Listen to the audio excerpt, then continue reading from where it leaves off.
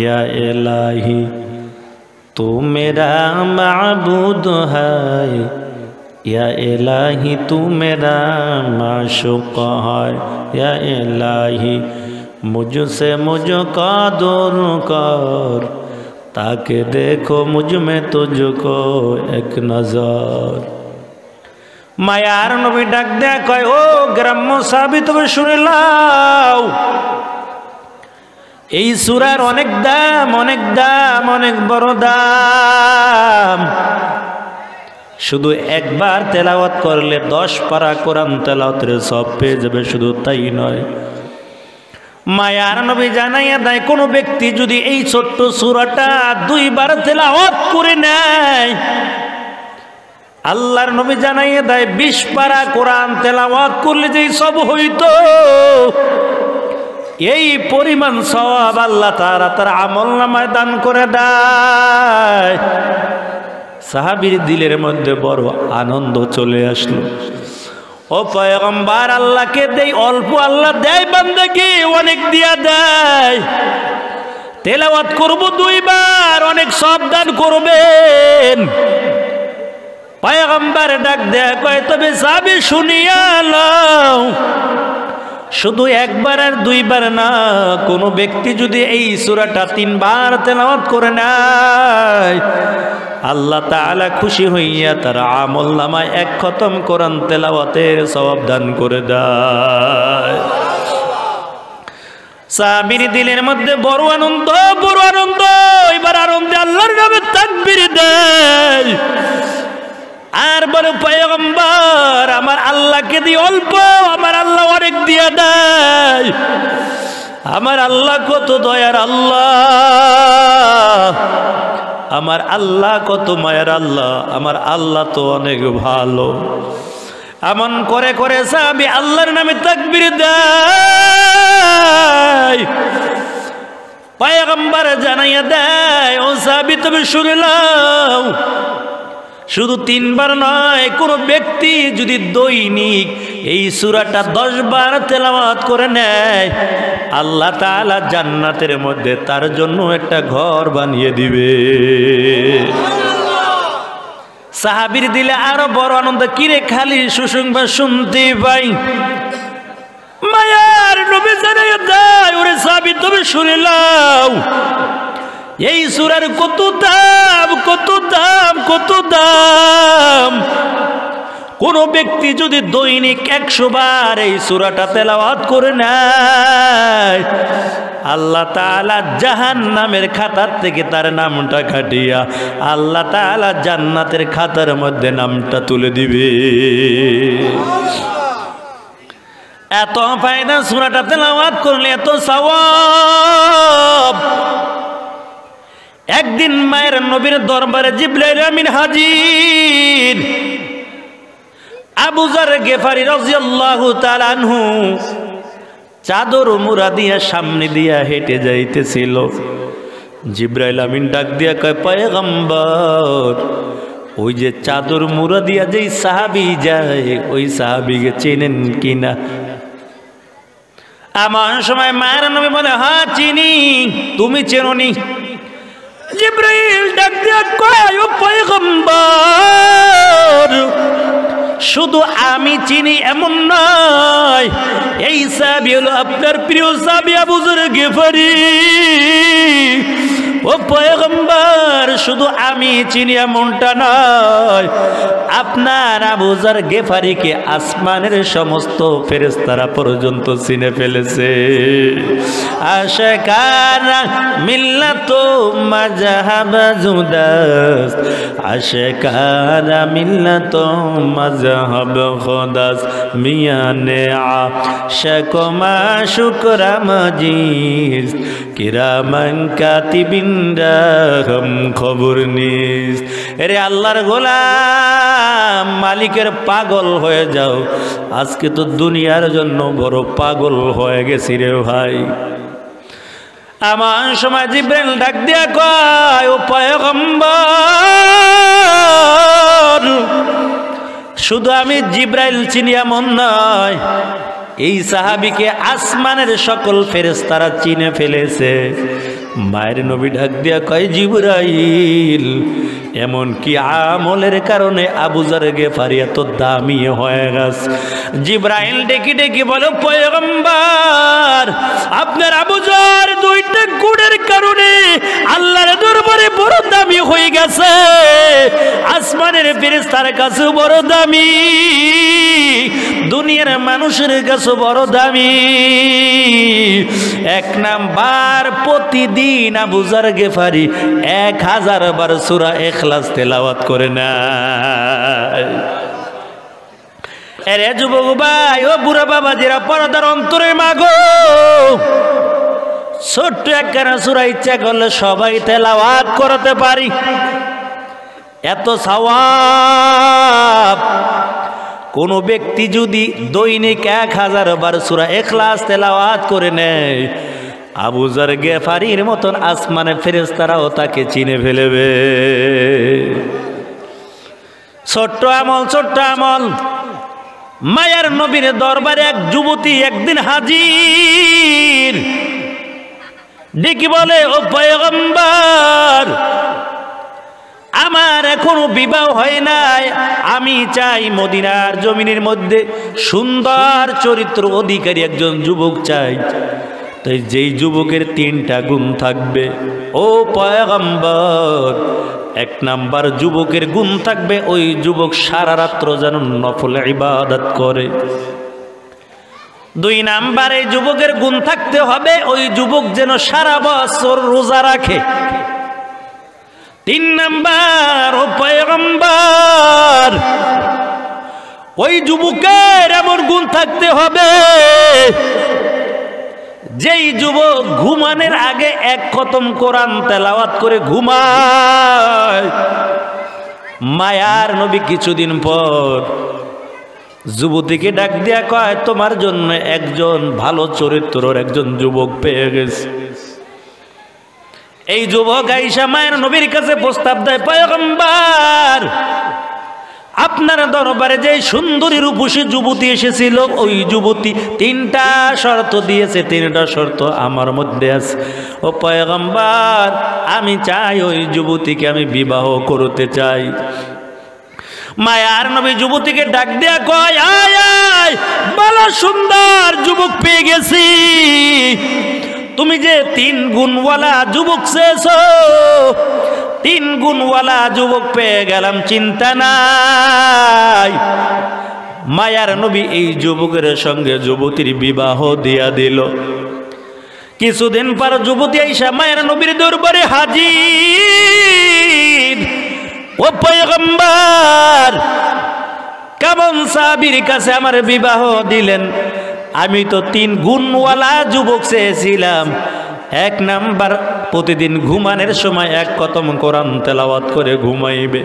ও পয়গম্বার, সারা বছর রোজা রাখবে, সারা রাত্র নফল ইবাদতের মধ্যে কাটাইবে। কই আপনার সাবি তো সারা রাত্র শুধু ঘুমায়? নফল ইবাদত তো করেই না। এক কত কোরআন তেলাওয়াত করে তো ঘুমায় না। এবং কই সারা রাত্র ঘুমাইতে থাকে আপনার সাবি কোরআন তেলাওয়াত করে না। ও পয়গম্বার, শুধু তাই না আমি বলেছিলাম, আমার স্বামী সারা বছর নফল রোজা রাখবে। কই আমার স্বামী তো নফল রোজাও তো রাখে না। কেমন স্বামীর, কেমন যুবকের সঙ্গে আমার বিবাহ দিলেন। মায়ার নবী যুবককে ডাক দিয়া তাহলে তুই আমার সঙ্গে মিথ্যা কথা বলেছ? স্বামী স্ত্রী দুজন হাজির, মায়ের নবীর দরবারে হাজির। আল্লাহর নবী ডাক দিয়া কয়, রে যুবক তাহলে কি তুই মিথ্যা কথা বলেছ? এমন সময় যুবক ডাক দিয়া কয়, ও আমি মিথ্যা কথা বলি নাই। কেননা আপনি বলেছেন, প্রতিদিন এক কদম কোরআন তেলাওয়াত করে ঘুমাইতে। ও পয়গম্বর, আপনার পবিত্র জবানের বাণী আমি শুনলাম। কোন ব্যক্তি যদি ঘুমানের আগে একবার সুরা ফাতেহা, তিনবার সুরা এখলাস তেলাওয়াত করে ঘুমায়, আল্লাহ তাআলা এক কতম কোরআন তেলাওয়াত করার সওয়াব তার আমল নামায় দান করে দিবে।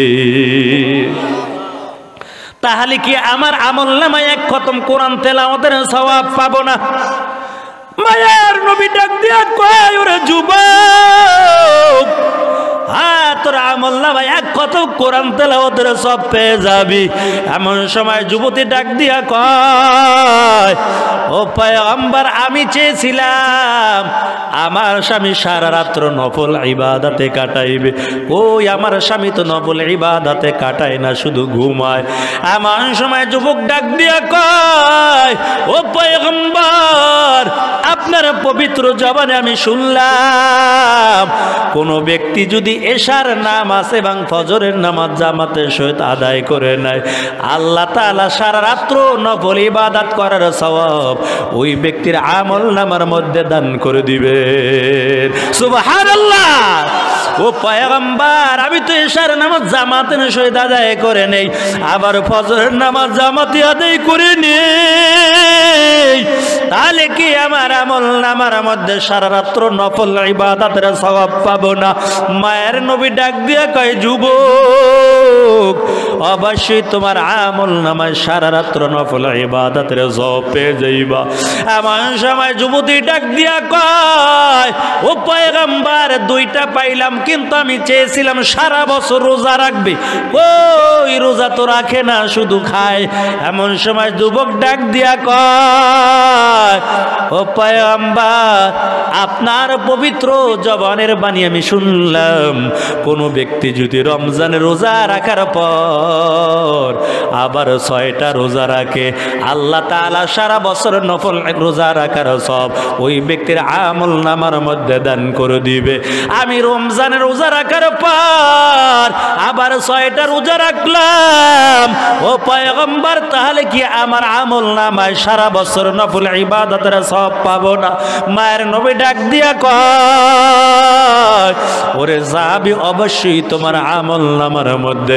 সারা বছর নফল নফল রোজার সব পেয়ে যাইবা। এমন সময় মায়ের নবী যুবতীকে ডাক দিয়া কই যাও যাও, তোমার স্বামীকে নিয়ে বাড়ি চলে যাও। তুমি যে তিনটা শর্ত দিয়েছিলা, তিন গুণওয়ালা যুবক চেয়েছিলা, এই যুবকের মধ্যে তেরোটা গুণ তার মধ্যে রয়েছে। এরে যুবক বা এ পর্দন্তরে মাগো ও বুড়া বাবাজিরা, কয়দিন দুনিয়ার জমিনে বাসবারে যুবক? একটু মনটারে বুঝাও, এই দুনিয়ার জমিনের মধ্যে, এই হাত দিয়া কত মানুষের লাশ কবরের মধ্যে রাখলাম, কত মানুষের জানাজা নামাজ পড়লাম। কবে জানি আপনার আমার মৃত্যুর এলানটা মসজিদের মাইকে হয়ে যায় রে ভাই। আপনারও জানা নাই আমারও জানা নাই। মায়ার নবী জানায় দেয়, যার অন্তরের মধ্যে মৃত্যুর ভয়ে থাকবে, দিলের মধ্যে মৃত্যুর চিন্তা থাকবে। ওই ব্যক্তি দুনিয়ার মধ্যে আরামায়েশ করতে পারে না। ওই দুনিয়ার মধ্যে ওই ব্যক্তি হাসি তামাশায় লিপ্ত থাকতে পারে না। ওই ব্যক্তি দুনিয়ায় আনন্দ, উল্লাসে কাটাইতে পারে না। ওই ব্যক্তি দুনিয়ার মধ্যে গুনার কাজ করতে পারে না রে ভাই। কেননা এই দুনিয়া চিরদিনের জন্য না রে ভাই? আসল বাড়ি হলো অন্ধকার কবর। এ দল। নবীজির স্ত্রী মায়ার নবী জানাইয়া দেয়, ও খাদিজা, তবে শুনিয়া লাও এই মৃত্যুর চিন্তা দুনিয়ায় তাকিয়া করে নাও। কবরে যাইয়া যদি বলো, আমি বিশ্ব নবীর স্ত্রী ছিলাম, লাভ হবে না। এর খাদি যা মৃত্যুর চিন্তা করো, মৌতের মোরাকাবা করো, মৌতের মোরাকাবা করো। কাদিজা জমিনের মধ্যে গড়ায়, আর চিন্তা করে রে অন্ধকার কবরে আপন কেউ নাই কেউ নাই। দুনিয়ার মধ্যে যদি বিপদে পড়ে যায়। মায়ার নবীকে আমার কাছে আমি পেয়ে যাই। অন্ধকার খবর যদি বিপদে পড়ে যায়, অন্ধকার কবরের মধ্যে আপন কেউ নাই কেউ নাই। এমন কবরে চিন্তা। আর খাদিজা জমিনের মধ্যে গড়ায় আর কান্না করে। ফাতেমা খাদিজার কান্না দেখিয়ে দৌড়াইয়া মসজিদে নবুইতে চলে যায়। ডেকে বলে, আব্বা যান, চলেন, বাড়ি চলেন। কেমন জানি আম্মা যান জমিনের মধ্যে গড়ায়। আর কান্না করে, আর এমন কোনোদিন আর তাকে দেখি নাই। মায়ের নবী বাড়ি আইসে দেখে খাদিজা জমিনের মধ্যে গড়ায়। আর কান্না করে, চোখের পানি ছেড়ে কান্না করে। মায়ের নবী ডাক দিয়া কয়, ও খাদিজা, কান্না করবা না। তোমার কান্না আমি নবী সইতে পারি না। কেননা এই মক্কার জমিনে চারদিকে যখন ছিল আমার শুধু শত্রু, খাদিজা তুমি তখন কালিমা পরে মুসলমান হয়ে গেছো। ওই মক্কার জমিনে যারা গেছেন, জাবালে, ওই হেরাগুয়া কত বড় একটা পাহাড়। এ নবীর উম্মতের দল যেই পাহাড়ে উঠতে এবং নামতে দুই থেকে আড়াই ঘণ্টা সময় লেগে যায়। একবার যারা পাহাড়ের উপর উঠে, দ্বিতীয়বার উঠতে আর তারা বড় ভয় পেয়ে যায়। আল্লাহ তালা ওঠার তৌফিক দিয়েছেন, কত বড় পাহাড়। ওইটা চিন্তা করলাম, খাদিজা তো প্রতিদিন মায়ের নবীর জন্য এই পাহাড়ের উপরে নাস্তা নিয়ে আসতো, খাবার নিয়ে আসতো। এত কষ্ট করি ওই পাহাড়ের উপর উঠিয়া মায়ের নবীর খাবার নিয়ে যাইত। কেমন করে খাদিজা পাহাড়ের উপর উঠতো, চিন্তা করে দেখলাম, অন্য কিছুই না, আল্লাহর দয়া যদি থাকে। আল্লাহর রহমত দ্বারা সব কিছুই বান্দার জন্য সহজ হয়ে যায়। খাদিজা প্রতিদিন খাবার নিয়ে হয় জামালে গুয়ার মধ্যে উড়ত। এ নবীর উম্মাতের দাল। মায়ের নবী ডাক দিয়া কয়, খাদিজা, আমার জন্য অনেক কষ্ট করেছ। সারা দিন বার যখন কালিমার দাওয়াত দিত, রাত্র গভীর রাত্রে খাদিজার ঘরের কিনে শাস্তি করে ডাক দিত। খাদিজা ঘরের দরজা খুলে দেয়, সঙ্গে সঙ্গে ঘরের দরজাটা খুলে দেয়। মায়ের নবী ডাক দিয়া কয়, ও খাদিজা, আপনি কি ঘুমান গভীর রাত্রে আস্তে করে ডাক দিলাম, ঘরের দরজাটা খুলে দিয়েছেন। খাদিজা চোখের পানি ছেড়ে দিয়া বলে, পয়গম্বার, আমি জানি মক্কের জমিনে আপনার মাও নাই। এই মক্কার জমিনের মধ্যে আপনার বাবাও নাই। মক্কার জমিনের মধ্যে আপনার আপন বলতে কেউ নাই। ও পায়াগাম্বার, মক্কার জমিনে চারদিকে আপনার শত্রু আর শত্রু। আপনি নবীকে আমি বাহিরে রাইগা আমি কাদিজা ঘরের দরজা বন্ধ করতে পারি না। ও পয়গম্বার,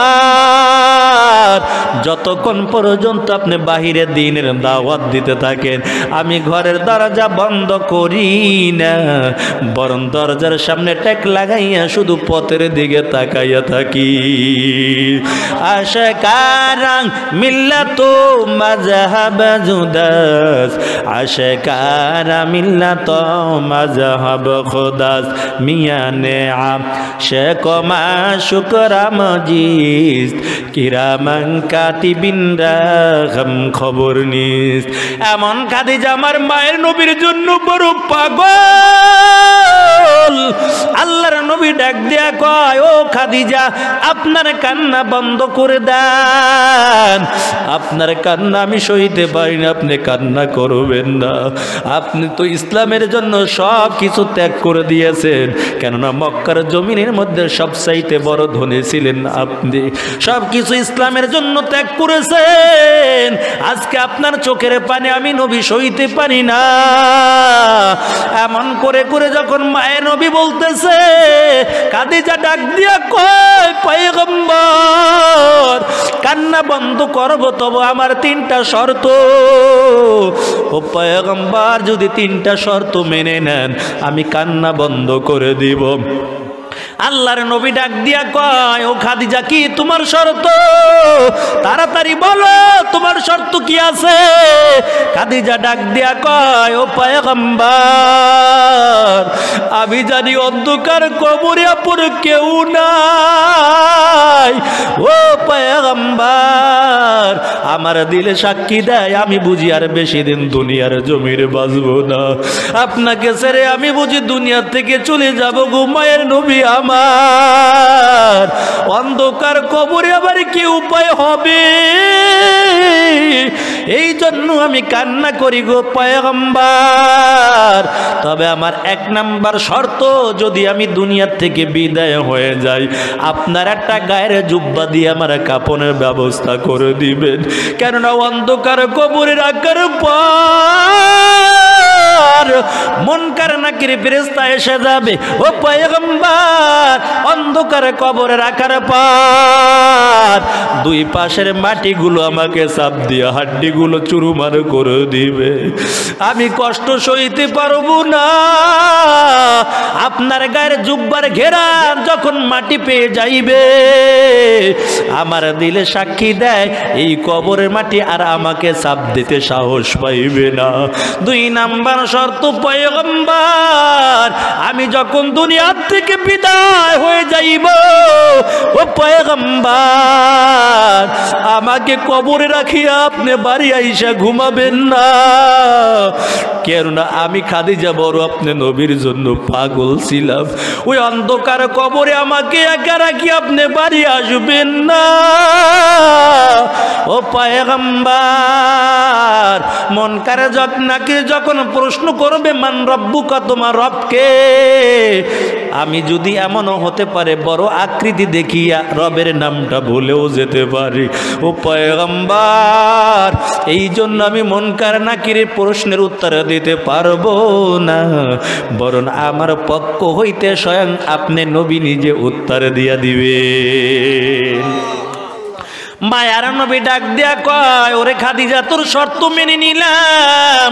কান্না বন্ধ করে দাও, বন্ধ করে দাও। এমন সময় খাদিজা ডাক দিয়া কয়, ও পায়ম্বার আমি কান্না বন্ধ করব, তবে আরও শরত বাকি আছে। ও পায়ম্বার আপনি যদি আমার শর্তগুলো মেনে নেন, আমি কান্না বন্ধ করে দেব। আর একটা শর্ত, যদি আমি দুনিয়া থেকে বিদায় হয়ে যায়। আমি খাদিজার জানাজার নামাজের ইমামতি আপনি নবী নিজে করবেন। মায়ার নবী দুনিয়ার থেকে বিদায়। খাদিজা যখন দুনিয়ার থেকে বিদায় হয়ে যায় এমন সময় মায়ের নবী আমার কান্না করতেছে কান্না করতেছে। খাদিজার জানাজার নামাজ আমার মায়ের নবী ইমামতি করল। খাদিজার কাপড়ের একটা মায়ের নবীর জুব্বা দিয়া কাপড়ের ব্যবস্থা করে দেয়। ওই অন্ধকার কবরে রাখার পর। মায়ের নবী কবরের পাশে দাঁড়াইয়া দাঁড়াইয়া কান্না। রাত্র গভীর হয়ে গেছে আল্লাহর নবী বাড়ি ফেরে না। আল্লাহ তাআলা জিব্রাইলকে পাঠায়, ওরে জিব্রাইল যাও, জলদি করে যাও। দেখো, আমার বন্ধু কেন এখনও খাদিজার কবরের পাশে দাঁড়ানো? যেই মায়ের নবী খাদিকে যাকে সারা খাবার খাইতো না, যেই মায়ের নবী খাদিকা যাকে সারা ঘুমাইতো না, আজকে আমার নবী বড় একা। জিব্রাইল ডাক দিয়া কয়, পায়গাম্বর, রাত্র গভীর হয়ে গেছে। আপনি এখনও কেন খাদিজার কবরের পাশে দাঁড়াইয়া কান্না করেন? আমার মায়ের নবী ডাক দিয়া কয়, ও ভাই জিব্রাইল, খাদিজার সঙ্গে আমার ওয়াদা দেওয়া। মন করে নাকি সোয়াল করবে? মনকার নাকির প্রশ্নের উত্তর, খাদিজার পক্ষ হইতে আমি নবীর নিজে দিব। ও এখন পর্যন্ত তো মনকার নাকির আসে না? আমি উত্তরও দিতে পারি না। যতক্ষণ পর্যন্ত মনকার নাকিরে সোয়ালের জব না দিব, ততক্ষণ পর্যন্ত আমি নবী কিন্তু বাড়িতে যাব না। মায়ার নবীর কথা শুনিয়া জিব্রাইল ডাক দিয়া কয় ও পয়গম্বর, আপনার কোনো চিন্তা করা লাগবে না, খাদিজার জন্য কোনো চিন্তা করা লাগবে না। যেই খাদিজা আপনার নবীর মায়ায় বড় পাগল, যেই খাদিজা আমার আল্লাহর জন্য বড় পাগল।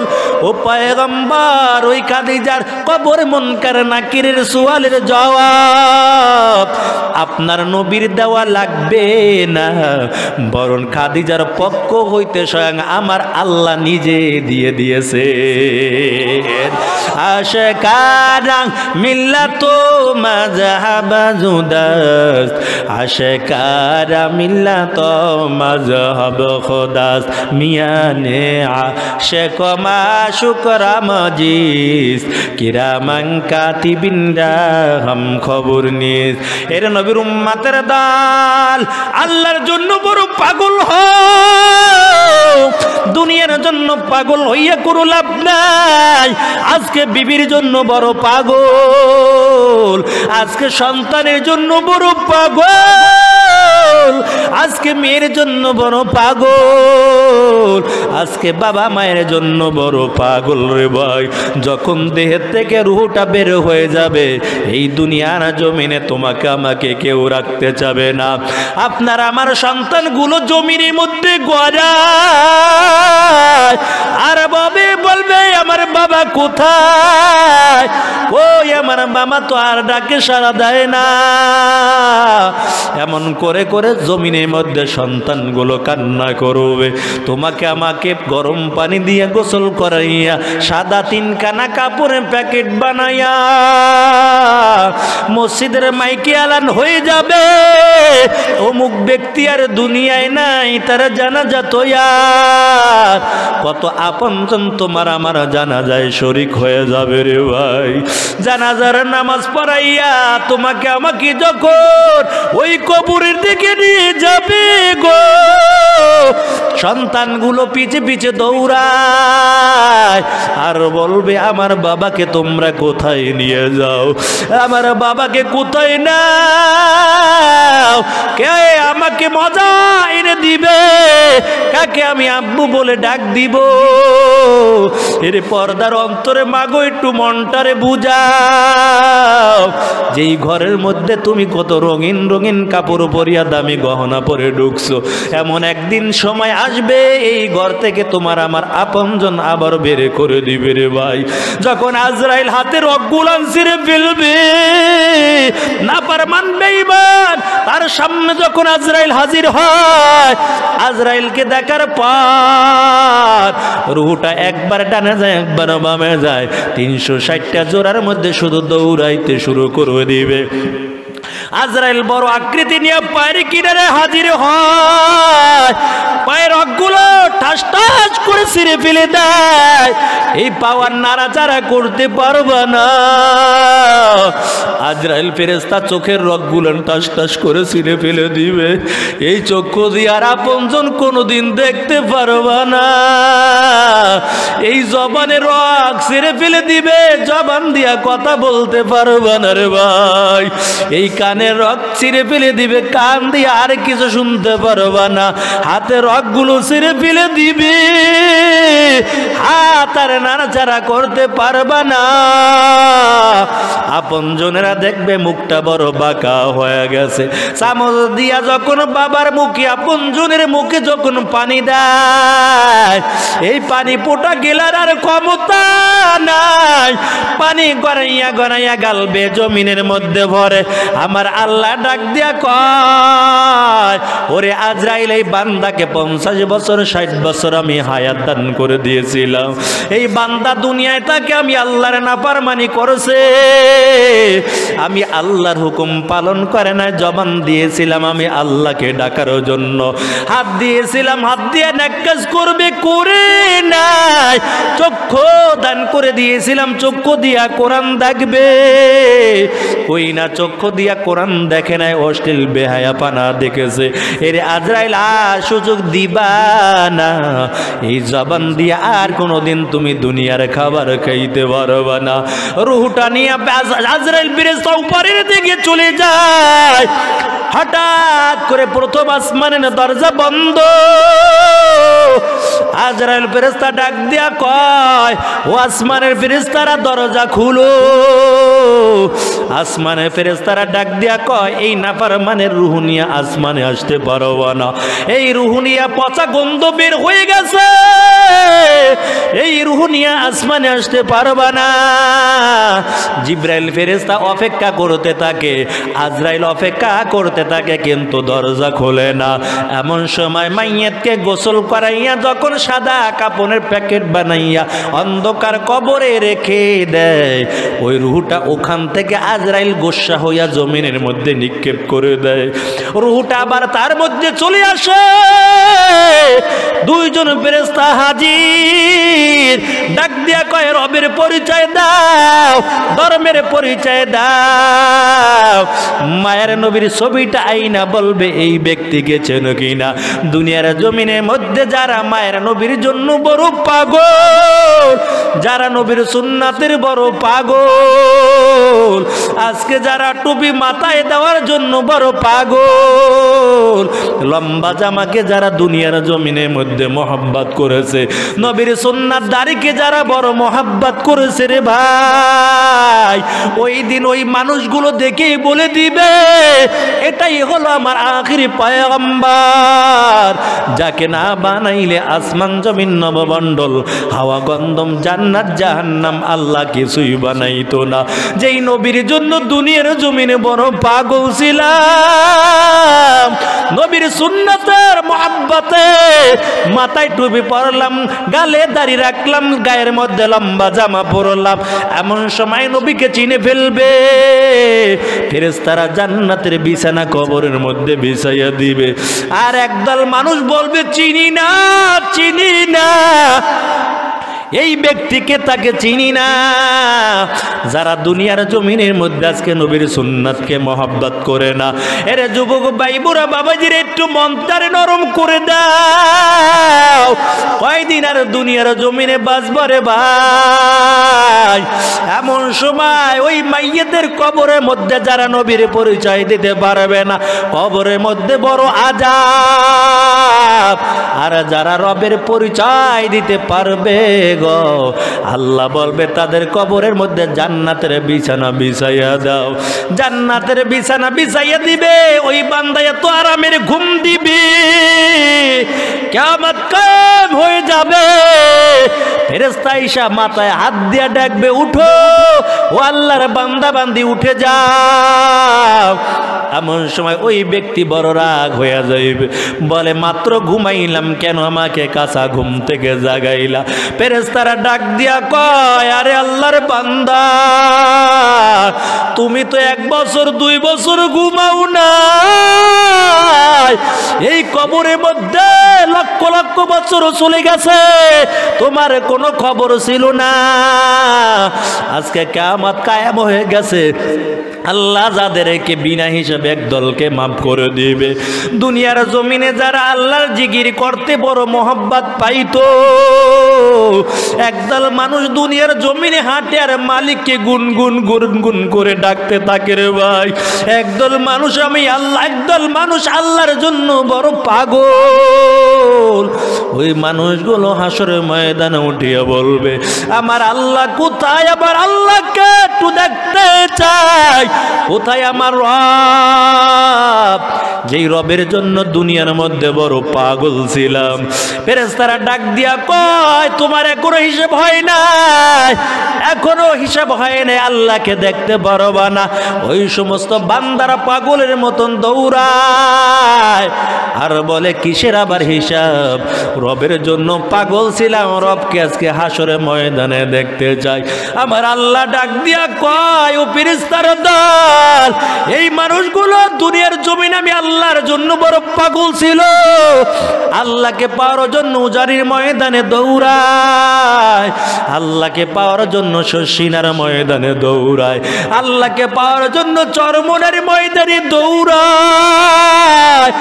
আল্লাহকে পাওয়ার জন্য ইস্তেমার ময়দানে দৌড়ায়।